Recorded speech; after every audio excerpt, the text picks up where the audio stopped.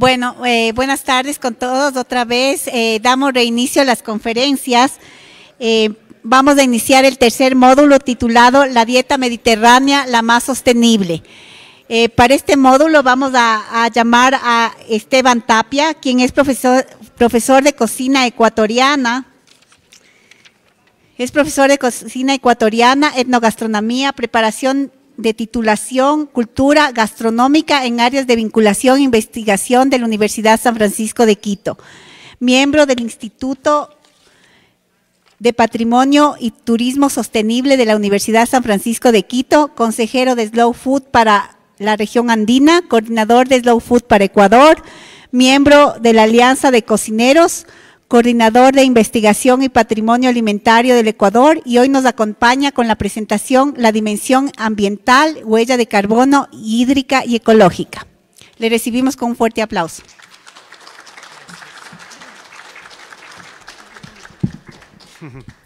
Eh, buenos días, eh, un gusto tenerles a todos aquí en la Universidad San Francisco de Quito, esta es su casa. Vengan cuando quieran, cuando quieran conversar, cuando quieran comer, cuando quieran discutir, cuando quieran pelear también podemos hacerlo con, muchísimo gusto, estamos abiertos a, todo. Agradezco muchísimo a la Embajada Italiana, a la Cámara Binacional, eh, también a todos quienes han hecho sus exposiciones en, la, en las horas de la mañana. Eh, muy interesantes y nos dejan mucha tela y mucho hilo que cortar y me encanta eso. Eh, me pidieron que hable un poco sobre la visión de los alimentos eh, de la dieta mediterránea y cómo un poco también a través de las huellas de sostenibilidad que nosotros tenemos podemos adaptarla, algo que ya hablaron, a la comida nacional, a la comida ecuatoriana también. Entonces, empecemos, porfa. Bueno, quiero contarles un poquito de la historia. como eh, escucharon, yo pertenezco a una organización que se llama Slow Food. Slow Food tiene su eh, sede en el norte de Italia, en un pueblito pequeñito muy lindo que se llama Bra, que está a una hora de Torino. Eh, es la sede, por ejemplo, donde se cosecha la mayor cantidad de trufas blancas y es bueno, tiene una comida muy, muy especial, muy llena de tradiciones, como casi todos los lugares del mundo. Yo no conozco un lugar en el mundo que uno pueda decir esta comida, esta cocina no está buena todas las cocinas están buenas. Entonces nace en 1986 cuando un activista que se llama Carlo Petrini con un grupo de amigos encuentran que en Roma estaban poniendo la sede de una eh, empresa multinacional que se dedica a la venta de hamburguesas y papas fritas. No voy a decir cuál es, pero tiene una M como signo. Y entonces eh, se indignan un poco y dicen, no, no puede ser que en pleno centro cultural italiano llegue algo como esto y tenemos que rescatar nuestras tradiciones.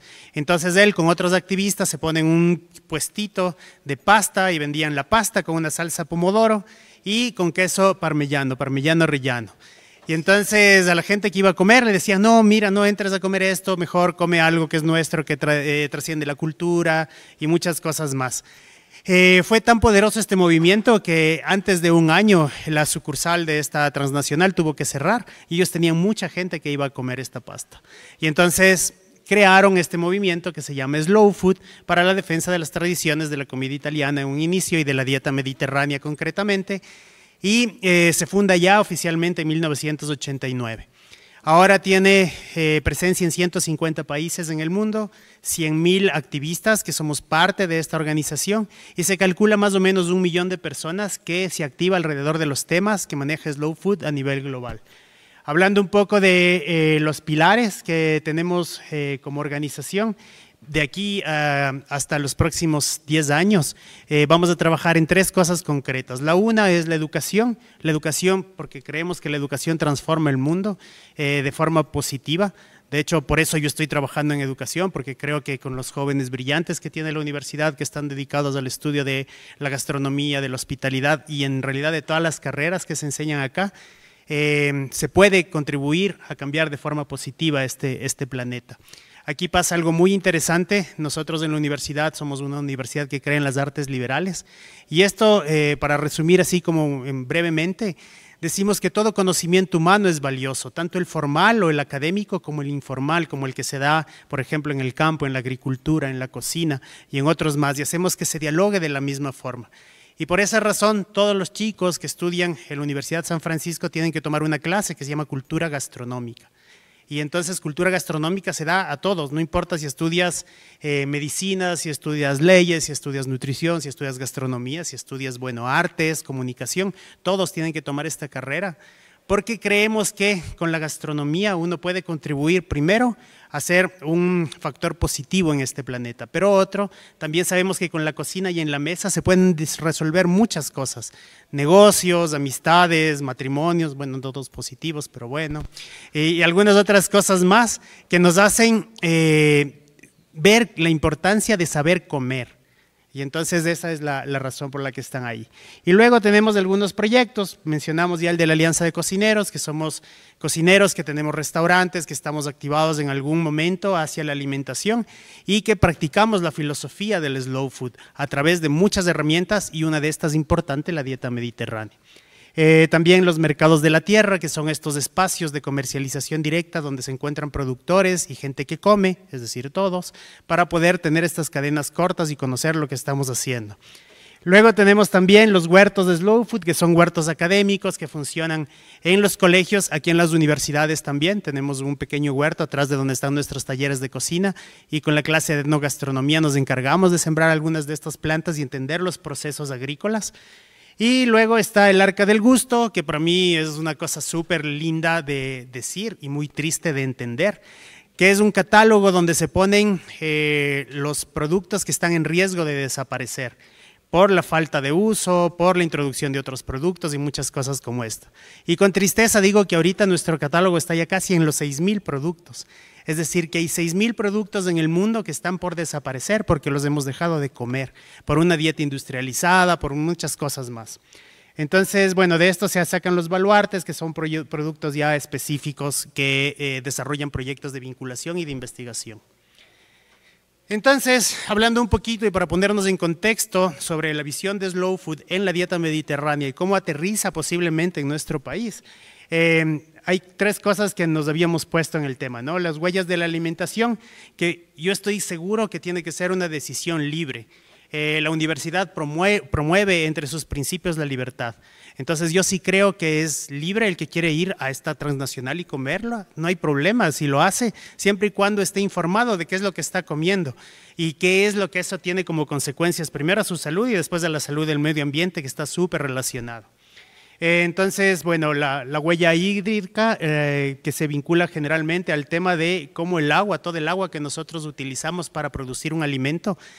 Y hablando un poco de lo que mencionaba el doctor, el chef, todas las personas que intervinieron antes, ¿por qué es mejor eh, producir y consumir menos carne?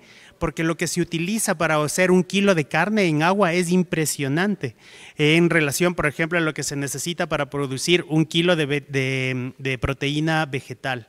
Entonces, cuando nosotros empezamos a entender que Comer es un acto político, que cada vez que ustedes se llevan una cucharada a la boca están decidiendo cuál es el sistema que debe predominar en el mundo.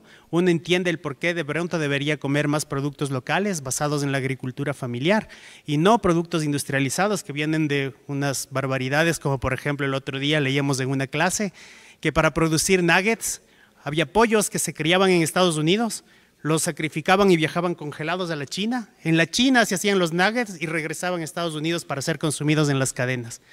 Y uno dice, somos tontos o qué nos pasa, ¿no? Para, hacer cosas como esas, pero realmente así es como funciona la industria de los alimentos de mala calidad, eh, basados en simplemente rendimientos económicos y no en nada más, no en la salud, no en la identidad, no en la cultura, no en todo lo que sí involucra otro tipo de alimentación más consciente. Entonces, bueno, ahí está el tema de la huella de carbono. Ahora se habló mucho del tema de las huellas de carbono, de estas compensaciones de bonos que se puede hacer a través, por ejemplo, de la agricultura, de algunas otras cosas más. Creo que podríamos hacer un foro sobre esto y nos faltaría tiempo. Eh, pero de todas maneras, creo que todo está relacionado al acto de comer, a cada cucharada que ustedes se llevan a la boca. Por favor. Entonces, la salud humana y la salud del medio ambiente estarán estrechamente vinculadas. Eh, si yo les pongo un ejemplo, por ejemplo en el Ecuador, cuando yo digo cuál es la cocina más rica, más tradicional, eh, la que ustedes creen que tiene mayor potencialidad para ser conocida en el mundo, el 90% de la gente dice la comida manabita. ¿Sí o no? ¿Están de acuerdo?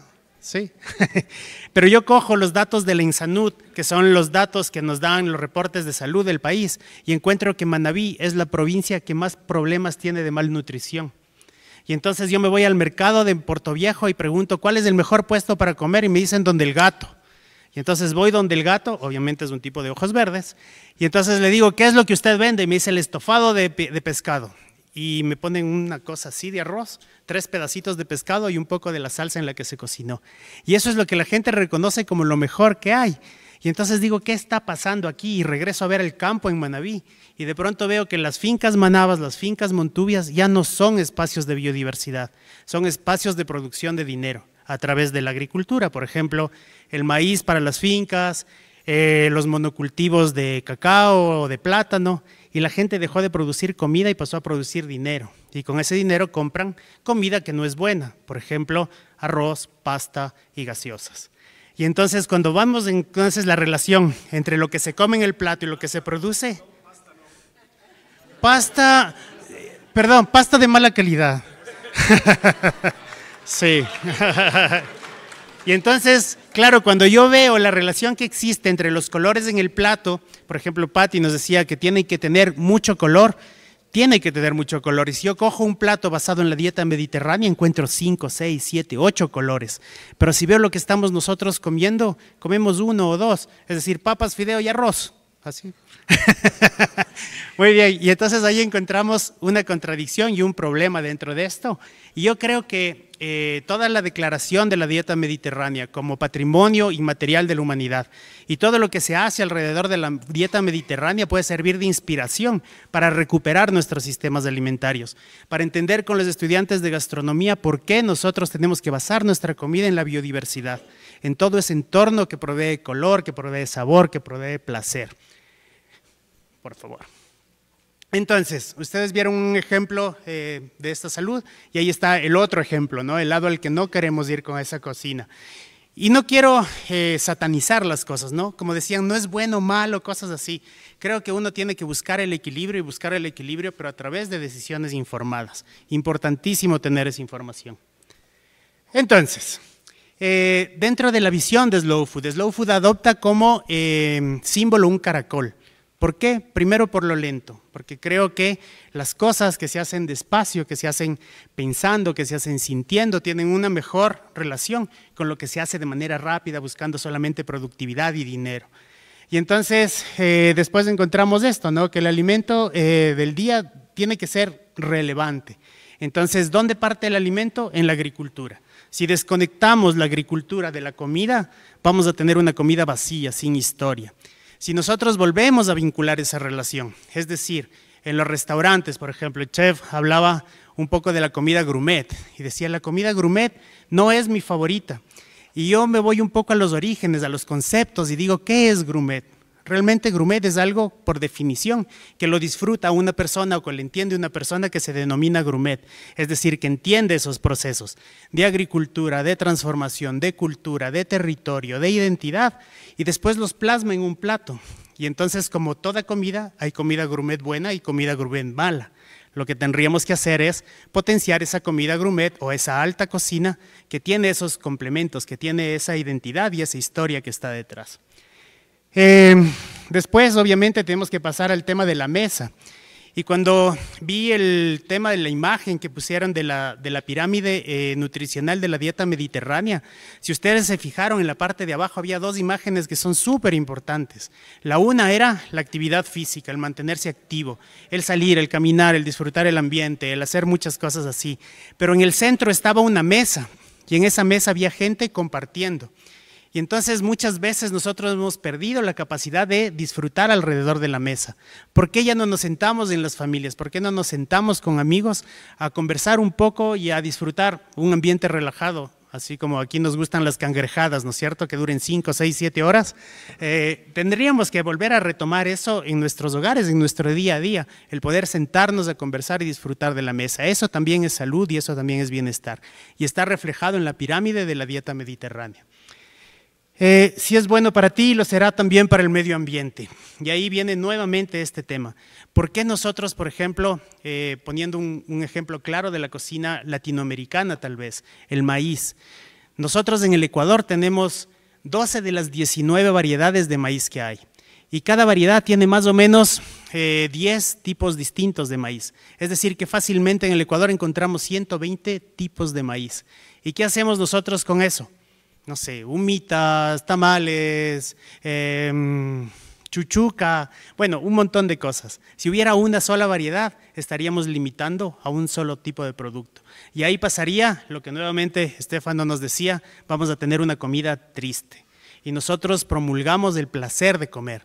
Hay que reconocer y hay que disfrutar nuevamente de ese placer de comer que se encuentra alrededor de las mesas. Entonces, la idea es que nosotros nos basemos en estos tres principios que tiene el movimiento Slow Food. El primero es que la comida tiene que ser buena. ¿Qué significa buena? Que sea placentero. Reivindicamos el placer de comer, sin tener vergüenza del placer. Yo no sé por qué muchas veces nos han hecho creer que sentir placer es malo. Es todo lo contrario, es bueno. Después vemos que la comida tiene que ser limpia, es decir, que en los procesos de producción, em, cultivo, pesca, recolección, en los procesos de cocción en nuestras cocinas y en los medios donde se consume, se afecte lo menos posible el medio ambiente. ¿Qué queremos decir con esto? Que, por ejemplo, somos aliados de la agroecología, que somos aliados de la permacultura, que estamos pensando en la regeneración. Ya no basta eh, con dejar de dañar, ahora tenemos que regenerar nuestros sistemas alimentarios, partiendo obviamente desde la comida, desde lo que nos llevamos a la boca. Y luego vemos que la comida tiene que ser justa, porque no es justo que un campesino eh, no pueda vivir dignamente con su actividad, que tal vez es la más noble del, mundo.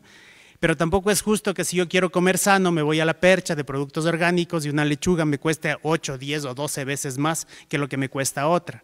Es decir, necesitamos tener acceso a esa posibilidad de basados en la dieta mediterránea, equilibrar nuestra salud, equilibrar nuestra cultura y tener una mejor alimentación para todos.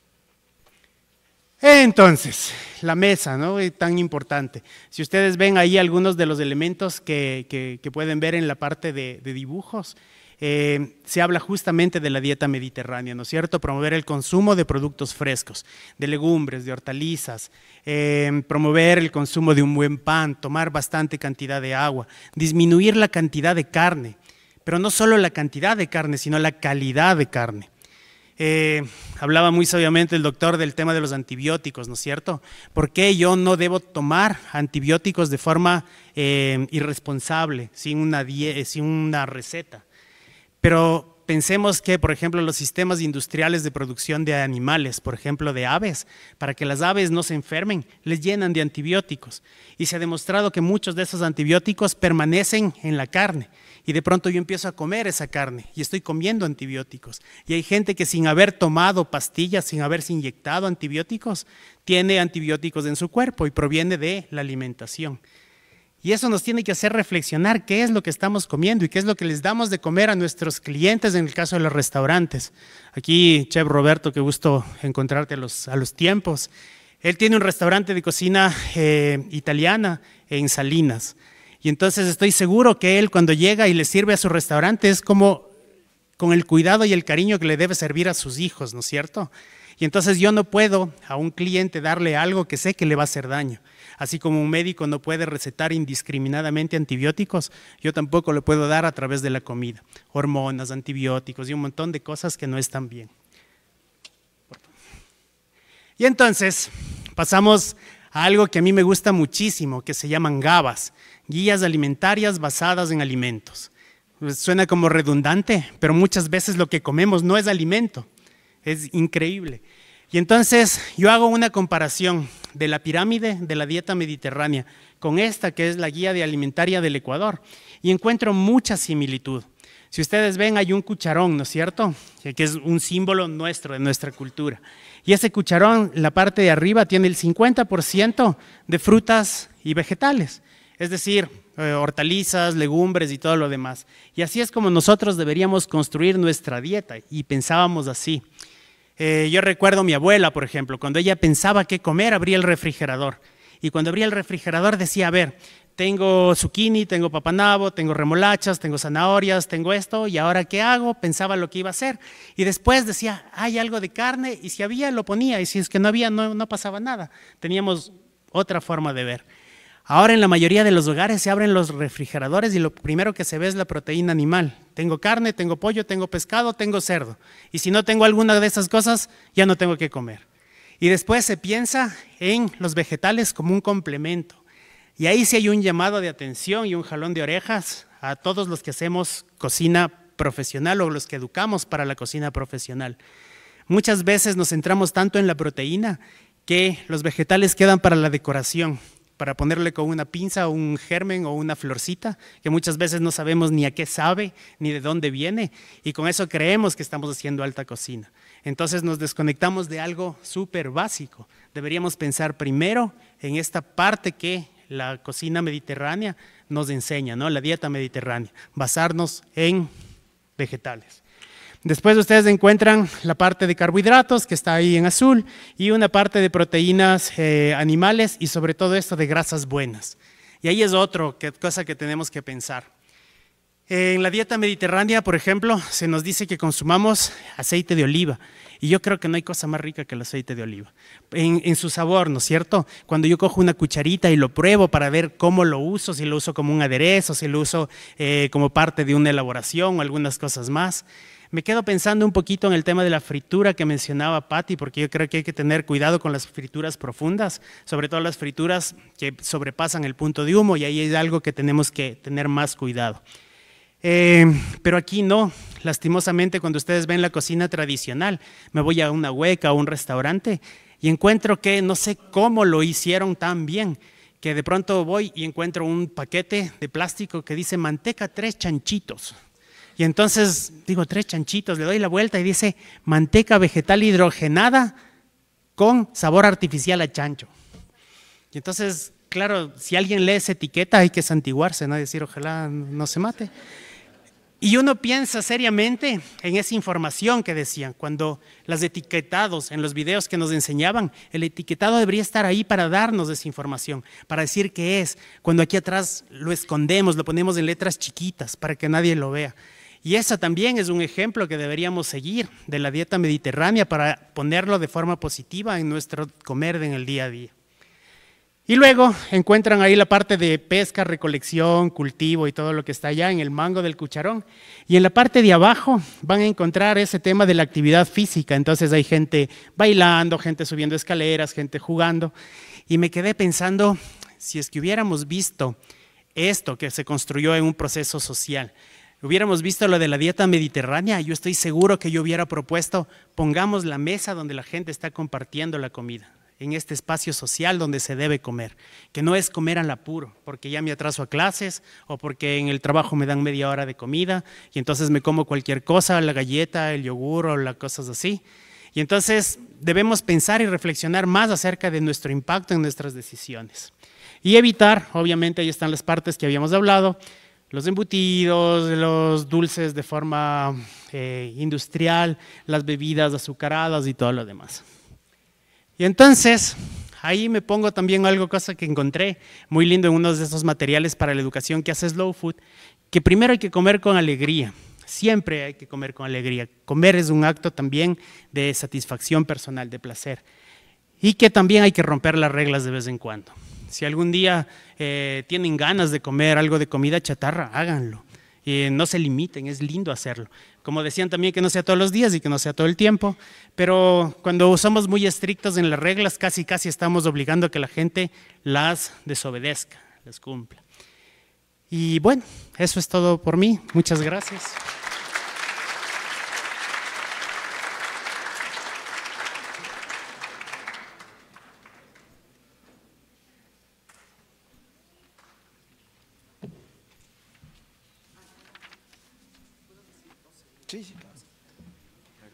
Perdón, que me estaba olvidando de una cosa.